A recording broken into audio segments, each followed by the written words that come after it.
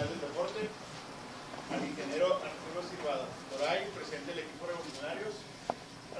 al Bueno, pues nos ha dado muchas glorias, ¿no? Eh, es un honor recibirlos para el gobierno municipal y para un servidor aquí en la dirección del deporte, recibirlos.